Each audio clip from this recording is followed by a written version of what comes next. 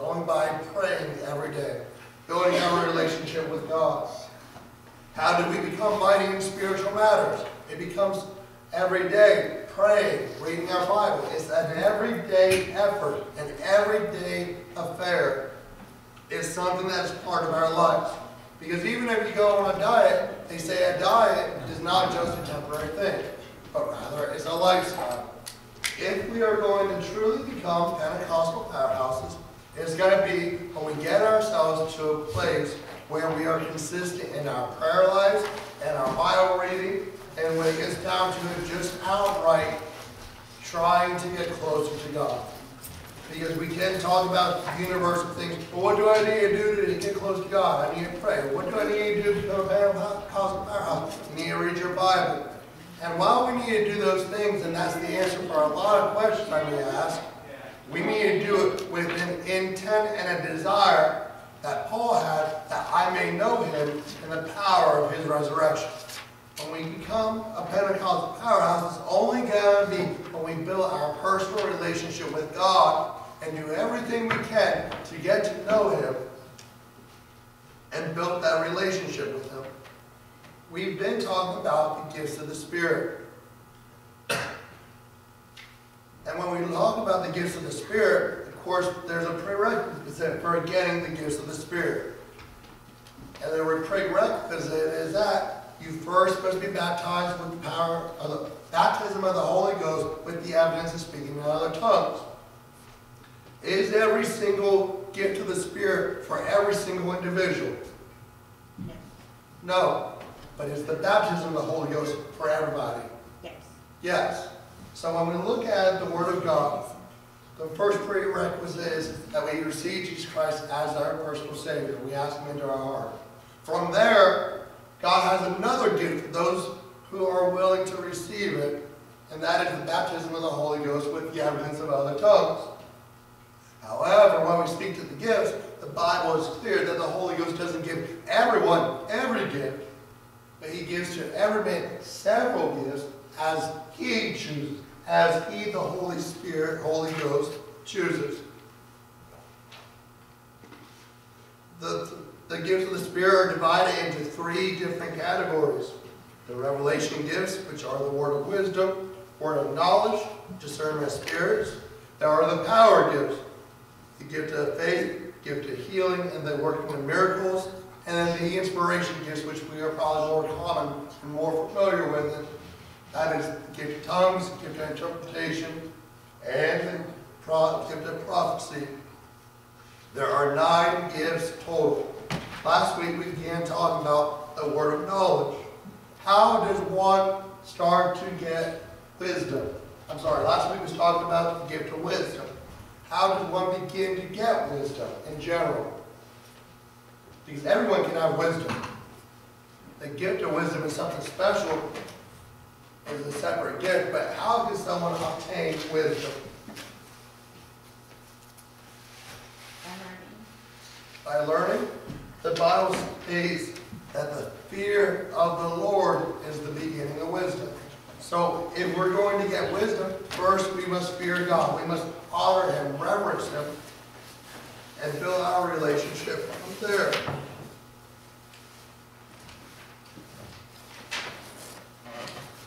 When we talk about wisdom, it's not an earthly wisdom.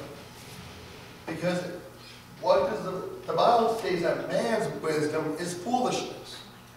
So when we're talking about getting true wisdom, we're looking at getting the wisdom of God, knowing the mind of God. Because if we go by man's wisdom, man's quote unquote wisdom is not always correct. And we go back to 1492, man's wisdom said, Christopher Columbus, you go too far, you're going to fall off the face of the earth. We can sit here in 2018 and laugh at that and say that they were ridiculous, but they were going off man's wisdom. The Bible also talks about man's science. We talked about this probably about three weeks ago, I think it was. What did Paul write to Timothy? He said, Science falsely so called. So man performs his quote unquote science, but it's not always accurate because it doesn't line up with the Word of God. And there are things that man pushes off as fact when it's really not fact. We've seen that in the school system with evolution. They call it a theory, and that's exactly what it is. It's a theory. it's not fact. It is science falsely so called. So when we get down to it, God's ways are not our ways. And his thoughts are not our thoughts. Therefore, when we talk about wisdom and knowledge, it's not man's wisdom and knowledge that God is imparting to us, but it's his wisdom and knowledge. And when we talk about wisdom and knowledge, uh, there are two big differences. Knowledge is information. Information concerning something. Wisdom is the knowledge how to apply or work out that situation. So it goes a little bit farther. So we're kind of going to be backtracking a little bit today. Or going back a step when it comes to wisdom and knowledge. And we're going to be talking about knowledge. And more specifically, the gift of knowledge. Or the word of knowledge. If someone would please read 1 Corinthians chapter 12 and verse 7. 1 Corinthians 12, 7. Someone else, Luke chapter 11 and verse 52.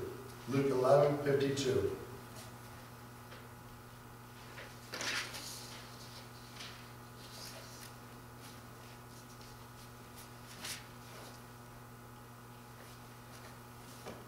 First Corinthians 12, chapter 7, chapter 12, verse 7. It's also right at the top of your notes.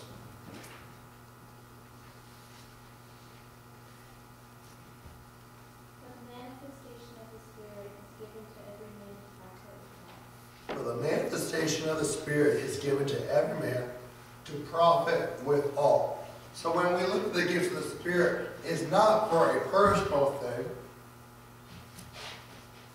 but it's to profit the church, it's to edify the church, it's to push forward the ministry of God.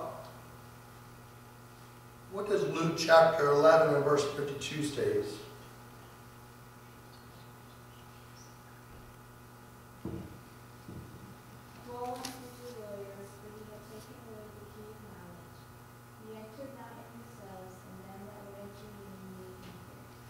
Woe unto you lawyers, for ye have taken away the key of knowledge. Enter not in yourselves, and them that were entering in ye entered. So obviously today we're going to be talking about the word of knowledge. And I can hear everybody go, oh, I didn't know that. We've only been saying that over and over for the last five minutes. So we're talking about the word of knowledge.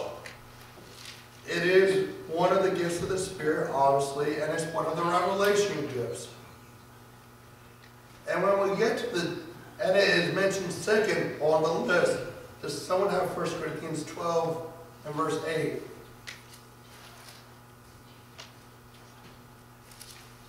First Corinthians 12, 8.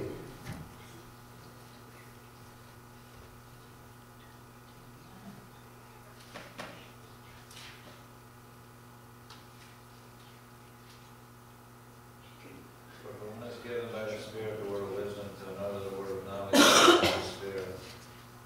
So as Paul there is listing the gifts of the Spirit under the direction of the Holy Ghost, first list the word of wisdom, which we studied last week, and then second he mentioned the word of knowledge.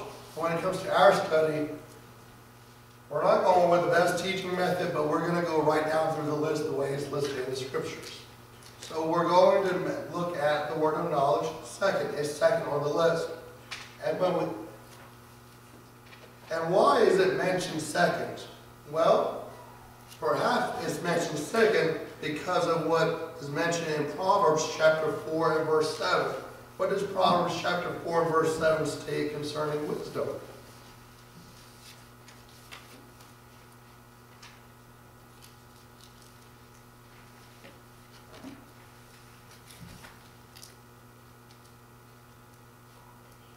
is the principal thing, therefore get wisdom, and with all the getting, get understanding.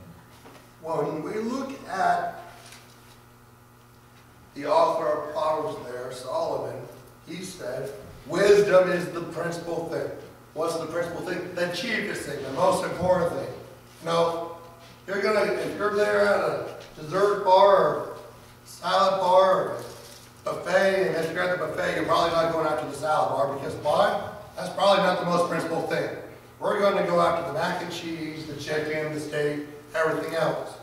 Principal is the chiefest, most important. When we're right looking here in Proverbs, he said that wisdom is the principal thing. And then with wisdom, get understanding second.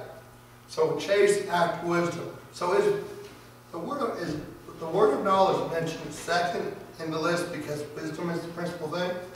Possibly, I do not know, but it is interesting that it's mentioned second. But we do know that wisdom and knowledge go hand in hand. Because they both contain information, but knowledge is the information concerning something, and wisdom is knowing how to apply that, the knowledge to get the result desired result. But we need to get knowledge as well. Now, when it comes to knowledge, you don't need wisdom to have knowledge. You really don't.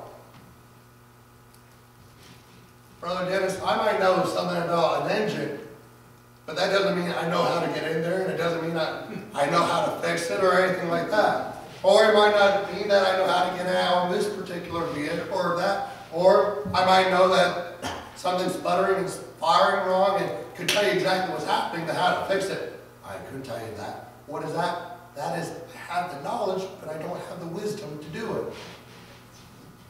When we look at the church world today, this is probably the most abused gift that there is out there. Because anyone can quote unquote fake to have the word of knowledge. They can come up and say, well, God told me to tell you this, this, this, this, this. Or God told me that this is going on in your life. I mean, the word of knowledge is probably the most abused gift for that reason.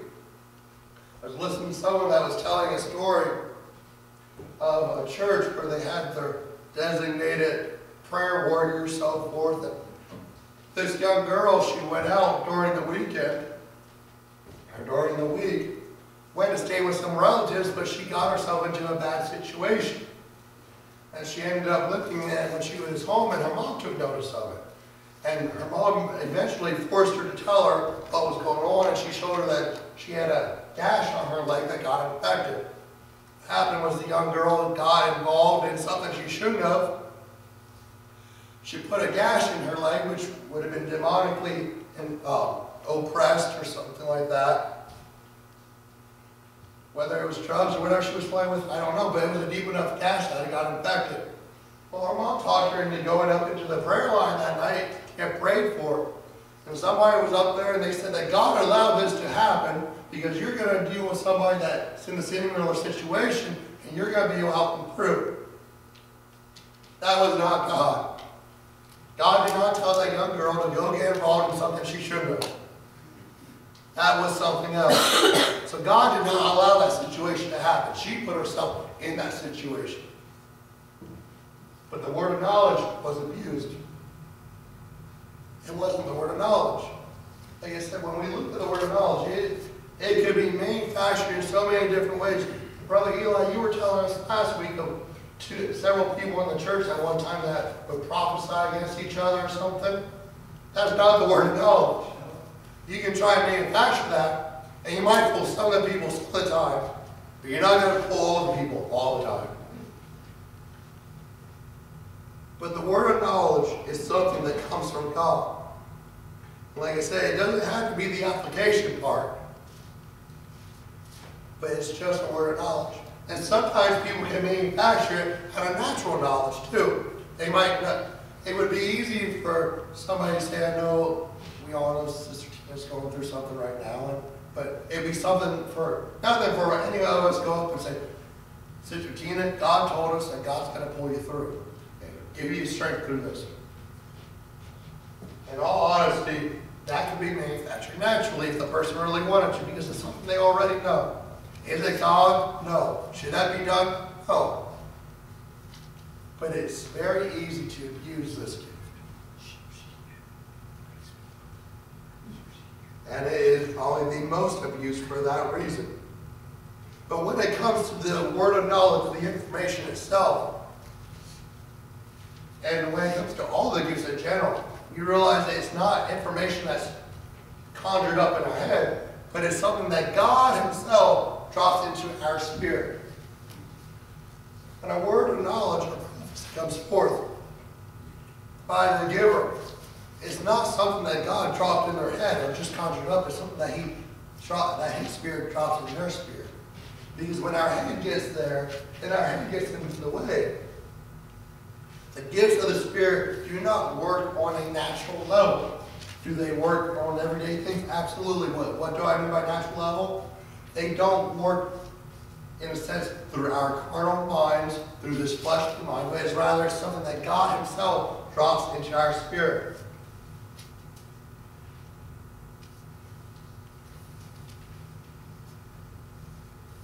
So, what is knowledge? According to Strong's Greek, Greek dictionary, taken from the word of knowledge verse itself, 1 Corinthians chapter 12 and verse 8, it means knowing, the act of knowing, by implication, just know it, knowing, knowledge, or it does have signs, which when the Bible refers to signs or you see anything, it's talking about true signs, signs that lines up with the Word of God, not signs, quote unquote, falsely so called, but rather true knowledge that line, um, true science that lines up with the Word of God. And when we get down to it in one word, knowledge is information. That's exactly what it is. As we've already said this morning, whether it's information on how to fix something, information, whether God's tells somebody something that's going on in your own life that no one else knows, is information. That's all it is. It's not how to fix it. I could come up and say God's gonna said He's gonna heal you, but I can't tell you that God told me that He's you got to do this or. When it comes to um, Naaman the leper in the Bible, the little uh, servant girl he had, she could have told him that God's gonna heal him, but she went farther. She told you gotta go dip in the river seven times. That's the stip- in the Jordan River seven times. That's the stipulation. So the knowledge that God was going to heal him would be more along the lines of the word of knowledge, whereas the information that he had to dip in the river seven times would have been the gift of wisdom the wisdom application part. Is this is what he had to do. So knowledge is information concerning something, while wisdom is knowledge of how to apply this information. The gift of knowledge is heavenly knowledge, knowledge dropped into one spirit by the Holy Ghost. And when we look at knowledge in general, the Bible refers to knowledge as the key. Luke 11 and verse 52, that was already read this morning. Woe unto you, lawyers, for ye have taken away the key of knowledge. Ye entered not in yourselves, and them that were entering in he hindered. What was God talking about at this time? There are several, several different things you can find out with through commentaries. But when we're doing Bible study, commentary, those side notes in study Bibles, those are man's words. The only inspired words in a study Bible are the words that God penned down years and years ago. The side notes are not inspired. The Word of God is. Commentaries are not the inspired Word of God. They are man's thoughts, men you study and try to know the Word of God, but they are not the inspired Word of God. But we're studying this out, John Wesley wrote, what this first man was, had obscure, obscured and destroyed the knowledge of the Messiah, which is the key of both the present and the future kingdom of heaven, the kingdom of grace and glory. He also penned, perhaps he, that it was perhaps the, an extraordinary ability to understand and explain the Old Testament types of prophecy. So that's what he, John Wesley thought was happening in this verse. But when we sit down and look at it, regardless of if they want to go into detail that it was about the types and the prophecies of the Old Testament, trying to study it out and know it, it doesn't matter. What we do know is that these scribes had a particular knowledge. They had information concerning something. And they said, you know what, I don't want to go there. So what they did was they kept the information to themselves. And in doing so, they hindered anyone else from obtaining the same information. What was this if we applied to the natural? Ever worked in a workplace where there were people that thought that if they had all the information and didn't share with anybody that they were more important, it made them feel special, put them higher on their totem pole? Not that it really did, but they didn't want anybody to know what they knew. That's kind of the boat that these scribes were in. I have knowledge, but I'm not sharing it with you. And Jesus is rebuking them and saying, Woe unto you, for you have done this. If we would apply to the church world today, you realize that there are a lot of preachers out there that know of the reality of hell, but they refuse to teach it. There are people out there with the reality that if people do not confess their sins, that they're going to go to hell, but they won't preach on sin because it's a negative connotation. What is that? That is people that are hindering others and they're keeping it to themselves. They have the key of knowledge, but they don't want to go there for whatever reason, and they don't want to bother anybody else with it, so they're going to keep it locked up for themselves. Knowledge is a key that unlocks a world of doors. Wisdom is the key that will unlock a lot of doors as well, but knowledge itself, you have any idea how, ever want to do something before, but you don't know how to do it? You need the information first. You need instruction, perhaps. You need guidance. That is knowledge. It is a key that will unlock that door. And that's exactly what God is talking about here. These scribes have the key of knowledge, but they're not going to let anybody else have that key. And they are preventing them.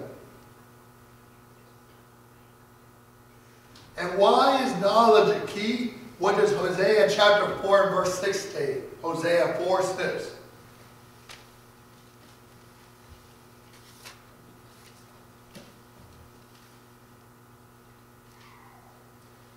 My people are destroyed for lack of knowledge. As thou hast rejected knowledge, I will also reject thee, but thou shalt be no priest to me, seeing thou hast forgotten the law of thy God, I will also forget thy children. So in Hosea 4 6, what did God say? That my people perish for a lack of wisdom? Oh, not wisdom. My people perish because of lack of my word? Oh, he said, my people perish because of a lack of knowledge.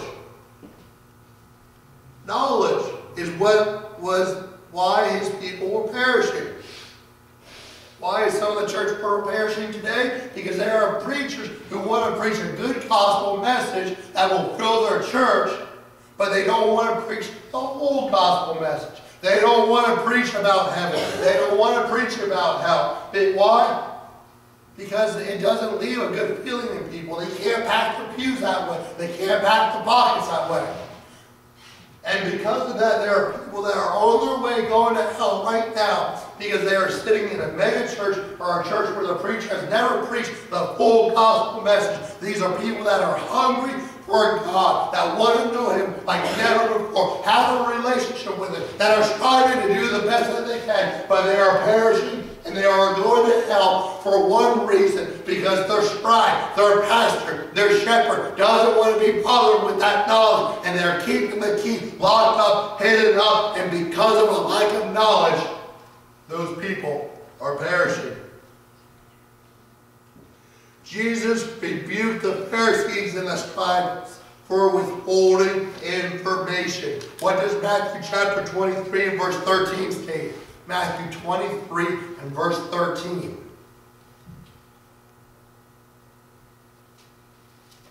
But woe unto you, scribes and Pharisees, and hypocrites, for ye shut up the kingdom of heaven against, against man.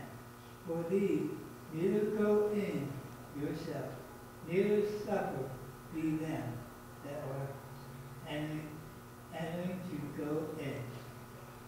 We find Jesus rebuking them, and then we take this verse and lay it side by side with Luke chapter 11 and verse 52. We would find that they're almost practically identical. We find people containing the key of knowledge. They have the information, but they're not sharing it with others. They are seeing those around them that if they would only tell them about heaven or hell, they would be fine. If they would tell them about Jesus Christ and how to have a personal relationship with Him, but they are refusing to do so, and they are shutting up heaven and preventing people from entering in.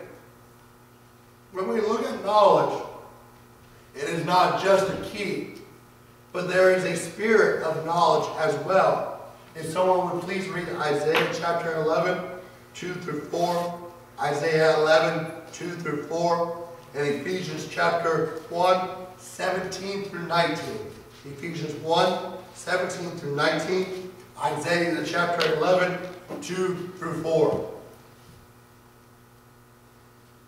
The Spirit of the Lord shall rest upon him, the Spirit of wisdom and understanding, the Spirit of counsel and might, the Spirit of knowledge and the fear of the Lord shall make him of quick understanding in the fear of the Lord. He shall not judge after the sort of his eyes, neither reprove after the hearing of his ears, but with righteousness shall he judge the poor, and reprove with equity for the meek of this earth. And he shall smite the earth without his mouth, and with the breath of his lips shall he slay the wicked.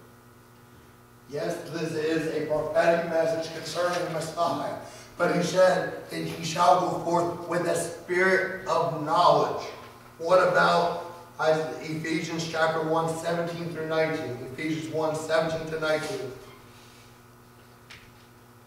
that the God of our Lord Jesus Christ, the Father of joy,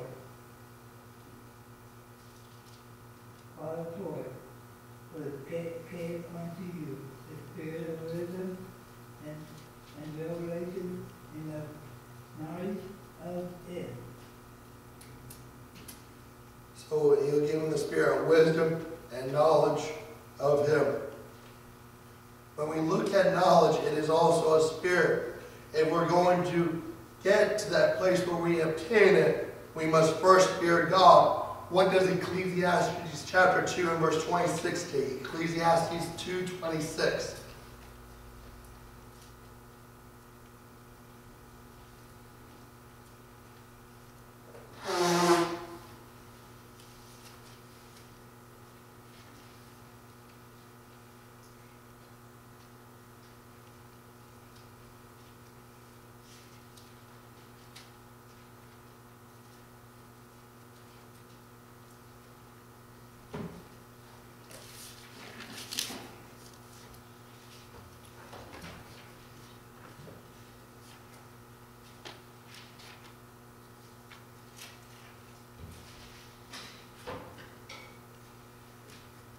Say two twenty-six. Ecclesiastes 2.26, yes. For God giveth to a man that is good in his sight, wisdom and knowledge and joy, but to the sinner he gives travail to get and to but that he may give. To him that is good before God, this also is added in vexation of spirit. And can you read that first phrase one more time, please, brother? For God is, for God giveth to a man that is good in his sight. For God giveth to a man what that is good in his sight. And what does he give him, brother? wisdom and. Wisdom knowledge, and I believe joy as well. So he gives them wisdom and knowledge. And we are going to first get wisdom and knowledge. It's going to begin when we first fear God and have an excellent relationship with Him. And when we look at Ephesians chapter 1, 17 through 19, this is, I'm a firm believer of praying scriptures, and this is one passage we can read to become a visionary. And we're going to become a missionary, that is the spirit of knowledge. But we need to seek the mind of God. When people say, I need to, I want to know the mind of God, I want to seek the mind of God, what do they mean? What are they really asking for? They're asking to have a word of knowledge, not the gift of the word of knowledge, but they want to have a word of knowledge for themselves from God. Excuse me.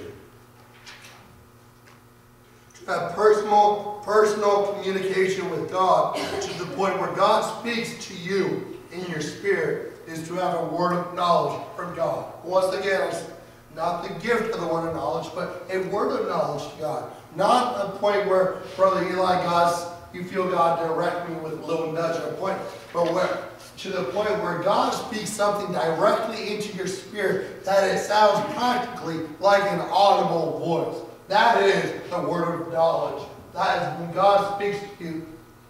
And we go back to Elijah when he was facing the prophets of Baal Mount Carmel. He spent 40 days in the wilderness and he comes to a cave. And I don't know if I have this down my notes. But in 1 Kings chapter 19,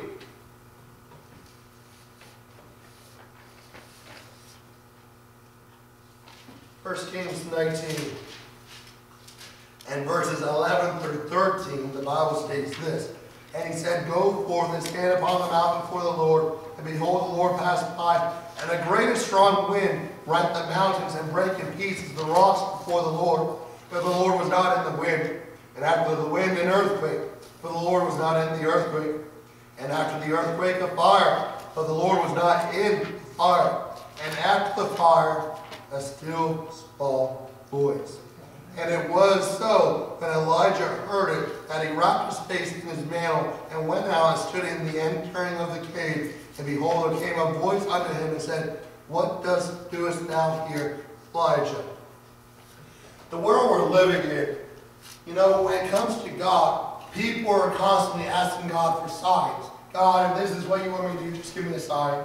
It's almost like Gideon type thing. God, if you want me to do this, just give me a sign, do this, prove yourself to me. But we just read here that God sent a fire, an earthquake. But was God in the fire or the earthquake? No. How many people today will be deceived by that because they're looking for the signs and the wonders? But where was God? He was that still small voice. What is that still a small voice?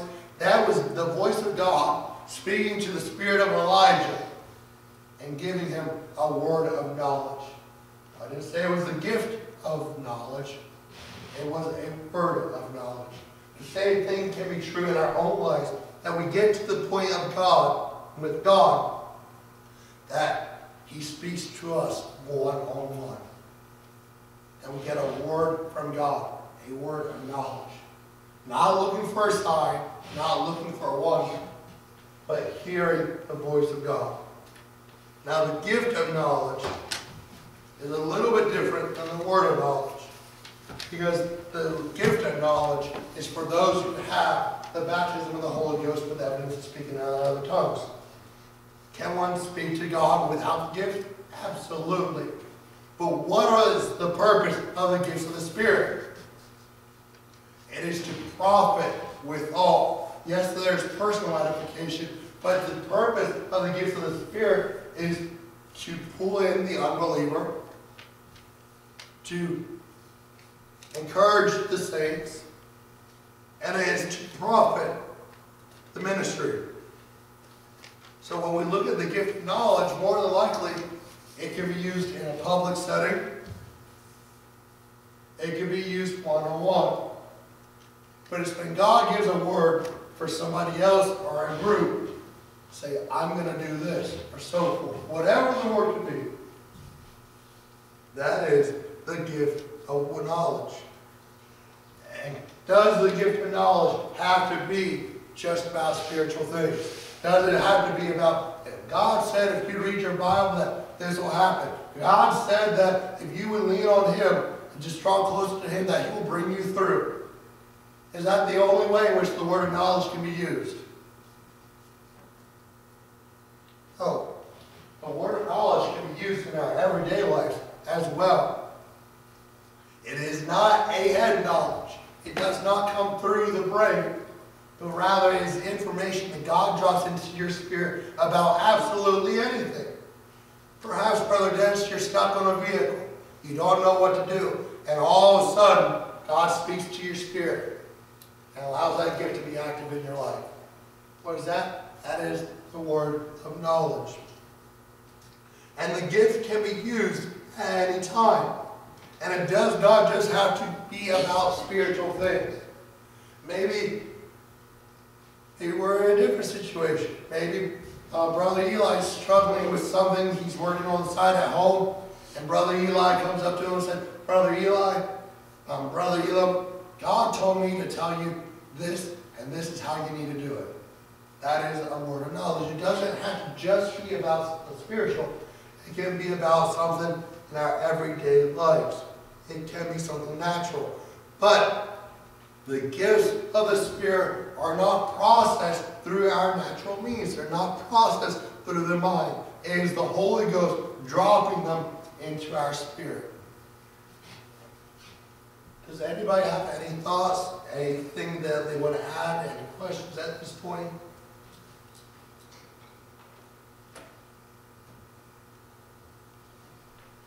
If not, unless God changes it, when we end up after the gifts of the Spirit, we should be starting a study on the book of Psalms.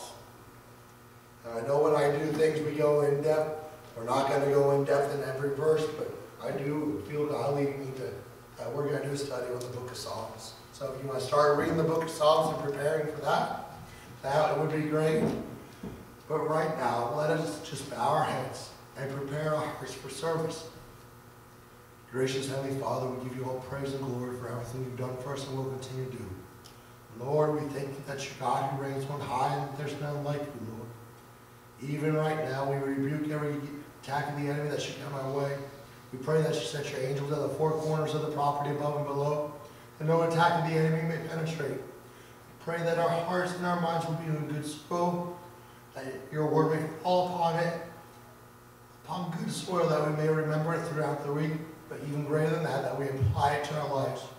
Know the song leader and the musicians, as they lead us the songs you have us sing, as they praise you upon the string instruments and the vocal cords. Know the pastor's mind and his lips to bring forth the word you have us uh, here today, Lord. And may it fall on good soil, that we may be transformed into your very image like never before, Lord. That we may know you like never before, Lord. I'll say so the fear of the Lord is the beginning of wisdom and knowledge, Lord. May we strive to know you like never before. May we strive to build that personal relationship, Lord, that we may be transformed to the very image of Jesus Christ. That one day, that we may know, without a shower doubt, that if we would pass away right here, right now, Lord, that we've done everything within our ability to get to you. That we've confessed our sins, that if something should happen right now, Lord, that we would know that we would be in your presence right now. Lord, I pray that you be with each one of us today, Lord. May we just have a desire to go deeper in you like never before. And we ask all these things in the name of Jesus. Amen.